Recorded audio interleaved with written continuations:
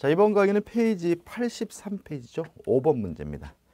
민법상 재단법인에 관한 설명으로 옳지 않은 것은 1번 재단법인 설립행위는 상대방 없는 단독행위니까 1번은 뭐죠? 맞는 지문이고요. 2번입니다. 자, 재산법인이라는 것은 재산의 집합에다가 법인격을 부여한 거잖아요. 따라서 재단법이 설립하려면 반드시 성립하려면 재산이 있어야 되니까 2번 재단법인의 설립을 위하여 반드시 재산의 출연이 있어야 된다. 5 맞는 질문이죠. 3번 자 출연 재산이 부동산이면 재단법인은 등기 없이 소유권을 가져요. 다만 등기 없이 취득한 소유권을 가지고 제3자에게 대항하려면 등기가 필요하다는 것이 우리 판례 입장이므로 3번 출연 재산이 부동산인 경우 법인의 설립 등기만으로도 그 재산은 제3자에 대한 관계에서 법인에게 기속된다. X가 되고요. 답은 뭐죠? 3번이 되는 거죠. 4번 어, 재단법인 설립행위도 어, 단독행위고 법률행위죠. 따라서 착오를 이유로 취소하는 것이 가능하니까 4번은 맞는 지문이고요. 5번 법인 아닌 재단, 법인 아닌 사단 똑같죠. 자, 재단의 실질은 갖췄지만 설립 등기를 하지 않고 있는 재산의 집합을 우리가 법인 아닌 재단이라고 하고 권리 능력은 없습니다. 그렇지만 당사자 능력은 인정이 되니까 5번 법인 아닌 재단에게도 부동산에 관한 등기 능력이 인정될 수 있다. 맞는 질문이고요. 답은 3번이 됩니다. 6번이죠. 사단법인에 관한 설명으로 옳지 않은 것은 1번 정관의 변경과 임의해산은 사원총회의 권한에 속하고요. 2번 사원총회 소집 절차가 법률 또는 정관에 위배된 경우에도 특별한 사정이 없는 한 총회 기회는 유효하다. X입니다. 말 그대로 법률 또는 정관에 위배됐다면 소집 절차가 그 사원총회 결의는 무효겠죠. 답은 2번입니다. 3번 이사 임면에 관한 사항은 정관의 필요적 기재 사항이고요. 4번 감사는 뭐 하는 사람이냐면 어, 이사의 업무 집행과 또는 법인의 재산 사항을 감사하게 되고 문제점이 있다면 그것을 사원총회나 주무관청에 보고를 하고요. 또 사원총회에 보고하기 위해서 사원총회를 소집하는 것이 가능하니까 4번은 맞는 지문이죠. 5번 사단법인과 어느 사원 간에 이해관계 있는 사항을 결의하는 경우 특별한 사정이 한그 사원은 결의권이 없다. 맞는 질문이죠. 답은 2번입니다. 자, 7번 문제죠. 민법상 사단법인에 관한 설명으로 옳지 않은 것을 찾네요. 음, 2번이 답입니다. 계속 반복적이네요. 자, 이렇게 되어 있잖아요. 정관의 규범적인 의미 내용과 다른 해석이 사원총회 결의하여 표명이 됐어요. 그러면 실질적으로 정관을 변경한 것이기 때문에 아, 주무관청 허가가 있어야 되고요. 주무관청 허가가 없는 한 그것은 무효이기 때문에 그 결의에 의한 해석은 그 구성에 구속력이 있다는 질문은 X가 되고요. 답은 2번이 되는 거죠. 8번 문제 볼까요? 법인의 불법행위 능력에 관한 설명으로 옳은 것을 찾으라고 하네요.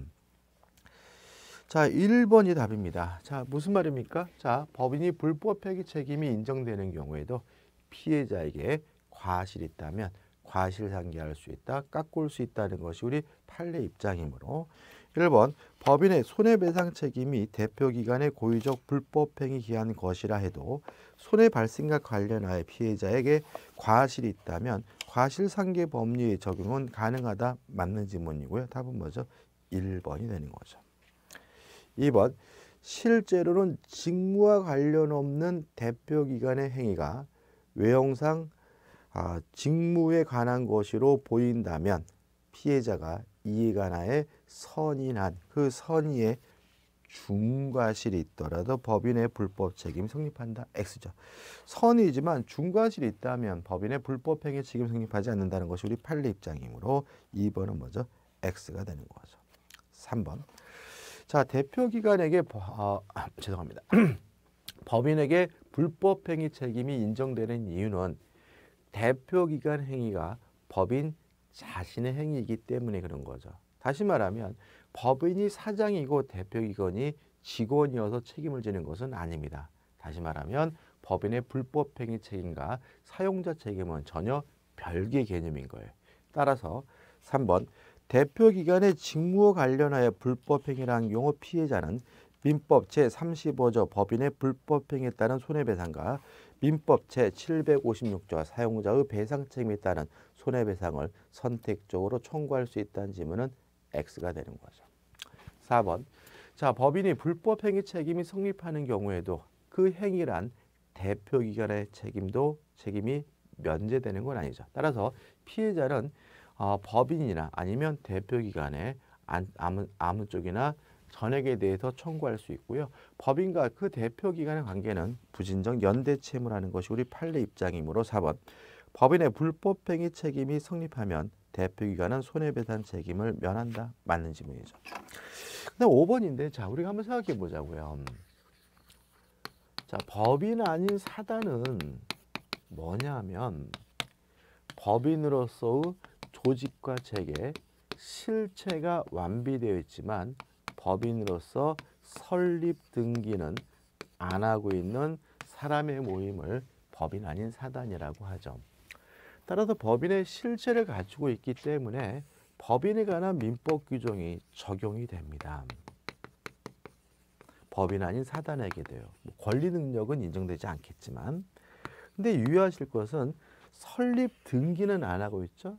등기는 안 하고 있, 으니까 등기에 관한 규정만은 뭐 되지 않습니까? 적용되지 않겠죠. 다시 말하면 법인 아닌 사단이라는 것은 법인의 실체를 갖추고 있기 때문에 법인에 관한 민법 규정이 법인 아닌 사단에도 적용이 돼요. 다만 설립 등기는 안 하고 있기 때문에 등기는 안 하고 있기 때문에 민법에 나와 있는 등기에 관한 규정은 법인 아닌 사단에 적용될 수는 없는 거죠. 따라서 5번 법인의 불법 행위 능력에 관한 규정도 법인 아닌 사단에 적용이 되므로 권리 능력 없는 사단에 유추 적용되지 않는다는 질문은 X가 되고요. 답은 1번이 되네요. 9번입니다. 법인의 불법 행위 능력에 관한 설명으로 옳은 것을 찾으라고 하네요. 1번 대표권 없는 이사는 대표기관이 아닙니다. 따라서 법인의 불법 행위 책임 성립되지 않으므로 1번은 X가 되고요. 2번 법인의 목적 범위 외의 행위로 인하여 타인에게 손해를 가했다면 법인에게 불법행위 책임은 성립되지 않습니다. 따라서 이때는 그러한 짓을 한 사람들이 연대에서 배상을 책임을 해야 되기 때문에 그 사항의 의결에 찬성하거나 그 의결을 집행한 사원 및 기타 대표자가 연대 배상 책임을 진다는 질문은 O 맞는 질문이 되겠죠. 3번 사용자 책임과는 상관이 없죠. 따라서 4, 3번도 X가 되고요. 4번 법인의 불법행위 책임이 인정되더라도 대표기관의 책임은 면제되는 것은 아니니까 4번도 뭐가 돼요? X가 되고요. 5번 피해자에게 과실이 있다면 깎을 수 있다는 것이 과실 상계할 수 있다는 것이 우리 판례 입장이므로 5번도 X가 되네요. 10번입니다. 민법상 법인의 불법행위 능력에 관한 설명으로 옳지 않은 것은 1번 법인이 불법행위 책임이 성립하여 법인이 피해자에게 손해를 배상했다면 그 행위란 대표기관에게 구상을 하는 것이 가능하므로 1번은 맞는 질문이죠. 2번 사용자 책임은 아니죠. 그죠? 상관이 없다고 계속 말씀드렸습니다. 3번 대표기관의 불법 행위가 외형상으로만 직무 관련성을 보이는 경우 실제 직무 관련성에 대한 피해자의 악이 과실 유무와 상관없이 법인은 불법행위 책임을 진다 X죠. 특히 피해자에게 중과실이 존재하는 경우에는 중과실이거나 악인 경우에는 법인의 불법행위 책임이 부정이 되기 때문에 답은 뭐죠? 3번이 되는 거죠. 4번 법인의 불법행위 책임과 대표인의 개인의 책임은 과실상계에 관련하여 그 범위가 달라질 수가 있고요.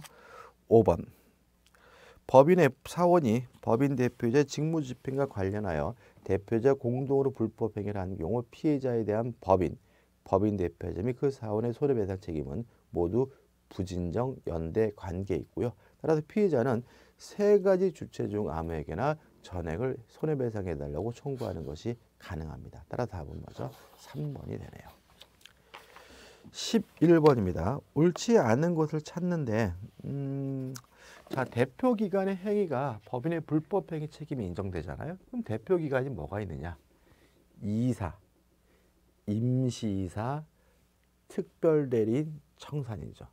청산인도 대표 기관입니다. 따라서 청산인이 청산법인의 직무와 관련해서 제3자에게 손을 입혔다면 청산법인은 불법행위 책임을 부담하거든요. 따라서 1번 청산인은 법인의 대표기관이 아니므로 이미 틀렸죠. 그 직무에 관하여는 법인의 불법행위 성립하지 않는다는 지문은 X가 되고요. 답은 1번이 됩니다. 나머지 분들 어, 반복적인 얘기죠. 한번 보시면 될 것 같고요. 12번이죠. 민법상 법인에 관한 설명으로 옳지 않은 것을 찾네요. 자, 우리가 임시이사와 특별대리인의 개념은 구별하셔야 되는데 자, 법인과 대표기관의 이해가 상반되는 경우에는 특별 대리인을 선임하고요. 이사의 결혼이 생겼거나 이사가 없는 경우에 선임하는 것은 임시이사거든요. 따라서 5번 보시면 이사의 결혼이죠. 이사가 없어요. 그러면 임시이사를 선임하게 되니까 이사의 결혼으로 인하여 손해가 생길 염려가 있는 때는 법원이 직권으로 특별 대리인을 선임하여야 한다. X죠. 여러 가지 틀렸는데 일단 직권으로 선임하는 것이 아니라 검사나 이해관계인의 청구가 필요하고요. 특별 대리인을 선임하는 것이 아니라 임시이사를 선임하게 되는 거죠. 답은 5번입니다. 13번입니다. 민법상 법인의 이사에 관한 설명으로 옳은 것을 찾네요. 자, 1번 이사는 필수기관이죠. 법인이 성립하기 위해서는 반드시 이사 있어야 되는 거니까 임의기관이다 X고요. 2번 이사가 여러 명의 경우에는 대외적으로 법인을 대표할 때는 각자가 대표하니까 2번도 X가 되는 거죠. 3번 이사의 대표권을 제한하려면 정관에 기재해야 되고요. 그것을 가지고 제3자에게 대항하려면 등기가 필요하죠. 자, 우리 판례에 따른다면 악의 제3자에게 대항하기 위해서도 등기가 필요하다는 입장이므로 3번 이사의 대표권 제한을 등기하지 않으면 악의 제3자에게도 대항할 수 없다. 맞는 지문이고요. 답은 뭐죠? 3번이 되는 거죠. 4번 이사가 대리인을 선임하고 대리인을 통해서 사무를 집행할 수 있습니다. 근데 어떻게 되냐면 특정 행위에 대해서 대리권을 줄 수가 있고요. 포괄적으로 거는 대리권을 줄 수가 없기 때문에 4번은 X가 되고요. 5번 이사의 결혼이 있을 때는 특별 대리를 선임하는 것이 아니라 임시 이사를 선임해야 되는 거죠. 5번도 X입니다. 14번입니다. 민법상 법인의 이사에 관한 설명으로 옳은 것을 찾네요. 1번 이사가 여러 명이면요. 대외적으로 법인을 대표할 때는 각자가 대표하고요. 따라서 과반수로서 대표행위를 한다 X예요. 내부적으로 사무를 집행할 때는 이사의 과반수로서 결정하는 거죠. 그래서 대외적으로 대표할 때는 각자가 대내적으로 사무 집행할 때는 과반수로서 결정하니까 1번은 X가 되는 거죠. 2번 아주 반복적 계속 나와 있죠. 3번도 반복적이고 4번 법인과 이사의 이익이 상반하는 사항 이해가 상반하게 되면 그때는 특별 대리인을 선임하는 것이니까 법원은 이해관계인이나 검사의 청구에 의하여 임시이사를 선임하여 한다. X가 되는 거죠. 5번 자 법인이 해산하게 되면 청산 법인이 되고요. 청산 법인이 되면 감사도 그대로고 사원총회도 그대로인데 대표 기관인 이사가 뭐로 바뀌냐면 청산인으로 바뀌는 거죠. 그래서 원칙적으로 청산인은 누가 하냐면 법인의 이사가 하는 거거든요. 5번 파산 이외의 사유로 법인이 해산한 경우 정관 또는 총회 교류를 달리 정한 바가 없다면 이사가 청산이 된다. 맞는 지문이고요. 답은 5번이 되는 거죠. 15번입니다. 민법상 법인의 이사에 관한 설명으로 옳지 않은 것은 1번 법인이 선, 법원이 선임한 이사의 직무대행자는 특별한 사정이 없는 한 법인의 통상사무만을 집행할 수가 있습니다. 맞는 질문이죠. 그러니까 우리가 뭐 우리가 흔히 보는 건 뭐예요? 대통령 권한 대행이요. 뭐 대통령이 탄핵 소추를 당해 가지고 국무총리가 권한을 대행하게 되면 그 사람 뭐예요? 직무대행자죠. 어, 새로운 일을 하면 안 되는 거죠. 어, 통상 사무만을 추진하기 때문에 같은 거 생각하시면 되고요. 1번은 맞는 지문입니다. 2번 이사의 임면에 관한 사항은 정관의 필요적 기지 사항이고요. 3번 이사가 여러 명일 때 대외적으로 법인을 대표할 때는 각자가 대표하게 되고요. 4번 이사 아, 법인과 이사 이익이 상반되는 경우 이해가 상반되는 경우에는 임시 이사를 선임하는 것이 아니라 특별 대리인을 선임해야 되기 때문에 4번이 답이 되네요. 5번도 진짜 많이 나왔죠. 반복적입니다. 16번입니다. 민법상 법인의 대표 기관에 관한 설명으로 옳지 않은 것은 2번이 답이죠. 자, 법인 이사의 대표권을 제한하려면 정관에 기재해야 되고 너무 반복이니까 어, 웃음이 나오는데요. 어, 만약에 등기하지 않았다면 악의 제3자에게 대항할 수 없다는 것이 우리 판례 입장이므로 2번 법인의 정관에 규정된 대표권 제한을 등기하지 않았더라도 이를 악의 제3자에게 대항할 수 있다. X가 되고요. 답은 뭐죠? 2번이 되는 거죠. 자, 1번. 이사가 여러 명이 오면은 대외적으로 법인을 대표할 때는 각자가 대표하고요. 2번 이사가 없거나 결혼이 생겼을 때는 임시 이사를 선임하게 되고요.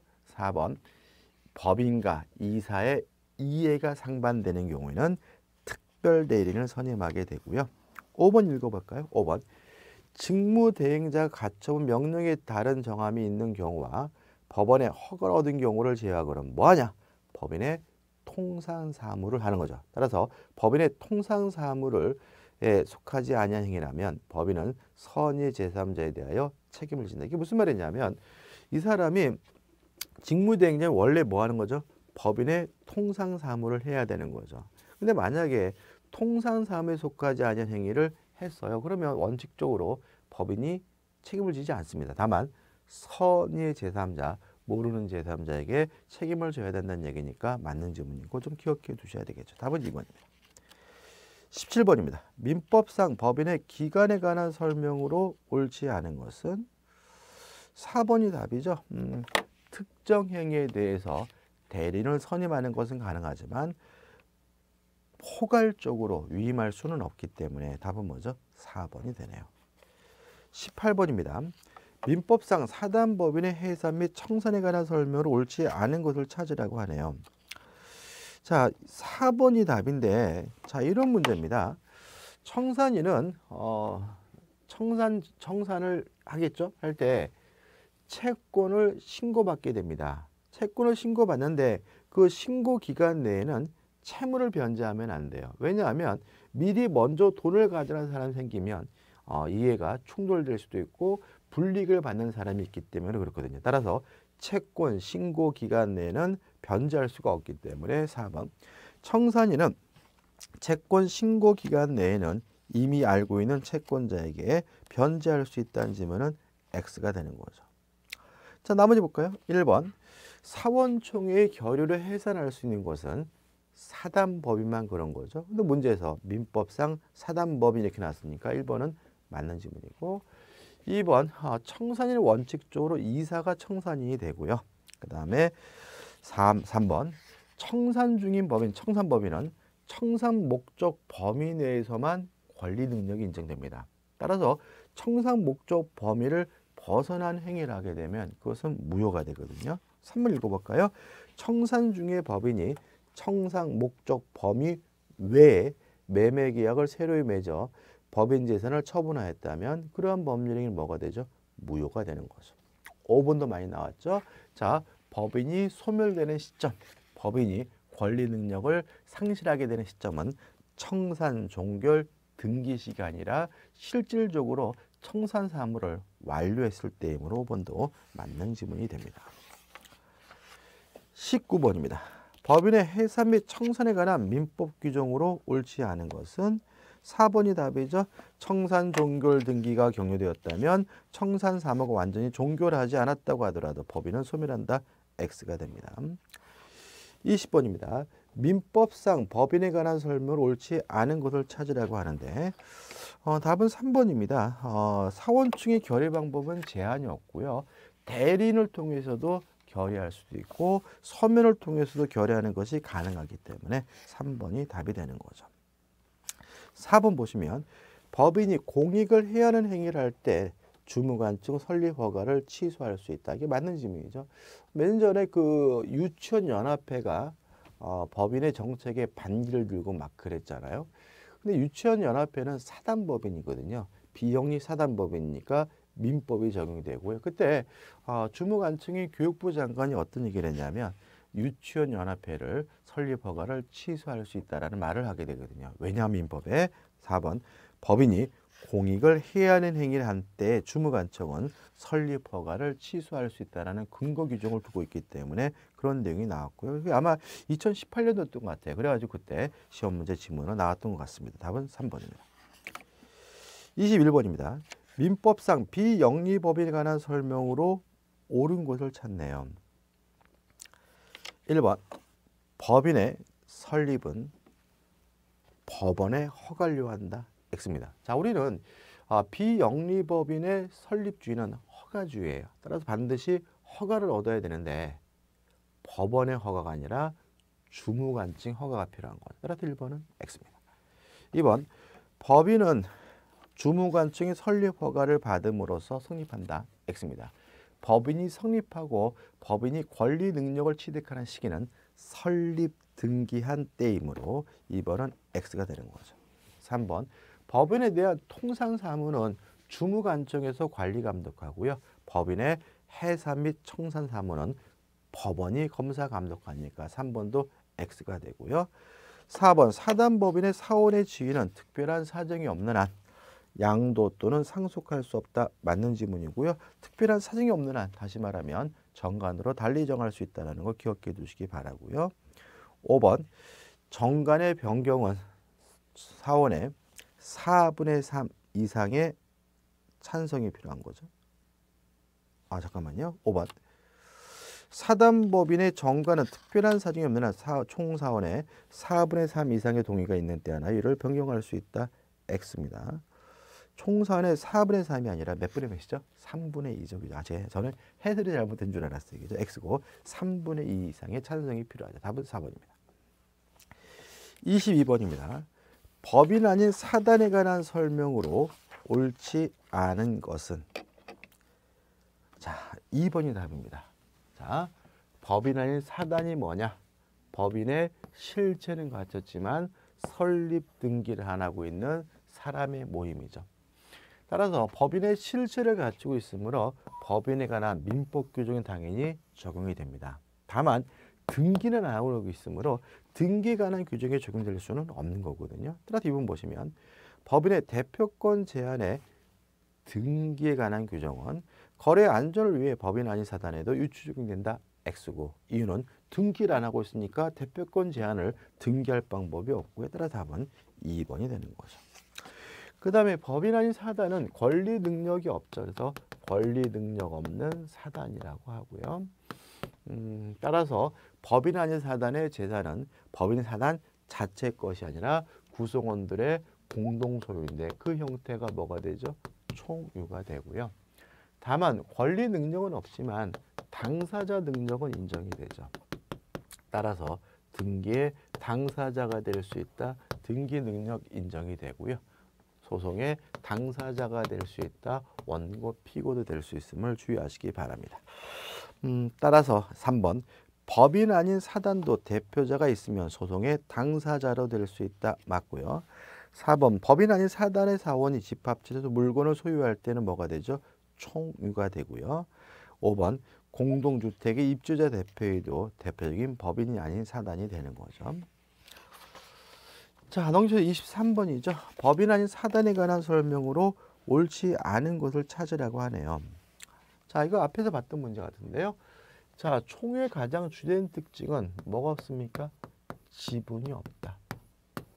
따라서 법인 아닌 사단은 관두면 땡인 거죠. 예를 들어서 교회면 다니면 당연히 권리가 있고 관두면 권리가 없어지는 거고 집단적으로 탈퇴를 했든 개인적으로 탈퇴했든 그 교회 재산은 남아있는 신도들의 총유인 거죠. 교회 재산은 나눠 가질 수가 없으니까 답은 3번입니다. 법인 아닌 사단의 교회가 두 개로 분열되고 분열되기 전 교회 재산이 분열된 각 구회의 구성원들의 각각 총유주로 귀속되는 형태의 교회 분열은 허용된다는 질문은 X가 되는 거죠. 답은 뭐죠? 3번이 되는 거죠. 24번입니다. 음, 자, 일단 답이 1번인데 자, 어, 총유물에 관한 모든 사항은 다 무엇을 통해서 하냐면 어, 사원총의 결의가 필요하죠. 그것이 총유물에 관한 보존 행위는 아니면 이용 계량과 같은 관리 행위든 그것이 처분 변경 행위든 다 무엇을 통해서 사원총의 결의가 필요한 거예요. 근데 조심할 것은 뭐냐 하면 이러한 것이 만약에 요 법인 아닌 사단과 아무런 이해관계가 없는 거라면 사원총의 결의로서도 할 수가 없다는 것이 우리 판례 입장입니다. 따라서 어, 가장 대표적인 것이 뭐냐면 지문에 나와 있는 건데 1번 종중의 대표가 종중 명의로 타인의 금전 채무를 보존하는 것은요. 종중 법인 아닌 사단과 아무런 관련이 없는 거죠. 이런 것들은 사원적인 결의를 통해서도 할 수가 없다는 것이 우리 판례 입장이므로 총유물의 처분 행위에 해당하므로 종중총의 결의가 필요하다 X입니다. 이것은 종중의 결의로도 할 수가 없다는 것이 우리 판례 입장인 것. 답은 뭐죠? 1번이 되는 거죠. 자, 25번입니다. 법인 아니, 법인에 관한 다음의 민법 규정 중 비법인 사단에 유추 적용 될 수가 없는 것은요. 뭐죠? 등기를 하고 있지 않으므로 등기에 관한 규정은 법인 아닌 사단에 적용될 수가 없으니까 답은 뭐죠? 1번이죠. 이사의 대표권 제한에 대한 아, 대표권에 대한 제한은 등기하지 않으면 제3자에게 대항하지 못한다는 것은 적용될 수가 없는 거죠. 26번입니다. 법인 아닌 사단에 관한 설명을 옳지 않은 것을 찾으라고 하네요. 음, 2번을 보시면 법인 아닌 사단의 채무에 대해서는 특별한 사정이 없는 한 각 구성원 각자가 그 지분 비율에 따라 개인 재산으로 책임을 진다 X입니다. 원칙적으로 개인 재산에 대해서 책임을 지지 않으므로 답은 뭐죠? 2번이 되는 거죠. 교회가 채무를 부담하게 돼 따라서 신도들이 재산의 비율로 그 채무를 부담해야 되는 건 아니겠죠. 자, 넘기셔도 27번이죠. 어, 청년도 문제네요. 자, 옳은 것을 찾으라고 하는데 먼저 답봐 볼까요? 3번 보시면 정관의 이사의 해임사에 관한 규정이 있는 경우 특별한 사정이 없는 한 정관에서 정하지 아니한 사유로 이사를 해임할 수 없다. 어, 원칙이적이죠. 특별한 사정이 없는 말은 원칙적으로 정관에 규정한 사유가 아니면 해임할 수 없겠죠. 물론 정관에 규정하지 않은 사유라 하더라도 중대한 과실이 존재하면 현저한 과실이 존재하면 다른 사유로도 해임하는 것이 가능하겠지만 원칙적으로 해임할 수가 없으므로 3번이 맞는 지문이고 3번이 답이 되는 거죠. 자, 1번. 이 특별 대리는 언제 선임하냐면 이사의 결혼이 있을 때 아니 이사와 법인의 이해가 상반되는 경우에 선임하고요. 이사가 없거나 결혼이 있을 때에는 임시이사를 선임하기 때문에 1번은 뭐죠? X가 되고요. 2번 이사가 여러 명이면 대외적으로 법인을 대표하는 것은 각자가 하지만 대내적으로 사무집행을 결정할 때는 과반수로서 결정하니까 2번도 뭐죠? X가 되고요. 어, 4번 법인의 직무집행 정지 가처분 결정으로 대표권이 정지된 대표이사가 그 정지 기간 중에 체결한 계약은 후에 그 가처분 신청이 시효되더라도 유효로 될 수는 없는 거죠. 그러니까 이런 얘기입니다. 어, 다시 말하면 정지 기간 중에 체결됐다면 권한이 없는 것이니까 효력이 없는 거고 신청이 취하되더라도 유효로 되는 것은 아니기 때문에 4번은 뭐죠? X가 되는 거죠. 그 다음에 5번 법인의 이사의 결의에 무효 등 하자가 있는 경우 법률에 별도 규정이 없으므로 이해관계는 그 무효를 주장할 수 없다. 당연히 이해관계는 무효로 주장하는 것이 가능하겠죠. 답은 뭐죠? 3번입니다. 28번입니다. 옳지 않은 것을 찾네요. 청년도 문제입니다. 사단법인의 정가는 자치법규예요. 맞아요. 근데 해석 당시의 사원의 다수결에 의한 방법으로 자의적으로 해석될 수 있다? 아니죠. 만약에 다수결의 방법으로 자유적으로 해석한다면 그것은 실질적으로 정관 변경을 초래하기 때문에 주무관증 허가가 없는 한 무효이기 때문에 5번이 X고 5번이 답이 되는 거죠. 자, 29번입니다. 음, 민법상 법인의 해상과 청산에 관한 설명을 옳지 않은 것을 찾으라고 합니다. 2번이죠. 해산 및 청산은 법원에서 검사 감독하죠. 주무관청은 뭐죠? 법인의 통산 사무를 감독하니까 2번이 답이네요. 30번이죠. 자, 옳지 않은 것을 찾습니다. 아, 2020년대 총네 문제가 나왔네요. 그죠? 한꺼번에 다 나오고 있는데 3번을 보시면 종중이 법인의 사단이 되기 위해서는 특별한 조직행위와 이를 규율하는 성문에 규약이 있어야 된다. X는 거죠. 다시 말하면 종중은 어, 특별한 조직행위가 없더라도 또는 성문, 문서로 된 규약이 없더라도 법인 아닌 사단으로 이해하기 때문에 답은 뭐죠? 3번이 되는 거죠. 자 여기까지고요. 어, 다음 강의에서 이제 우리는 권리의 객체로 넘어가도록 하겠습니다.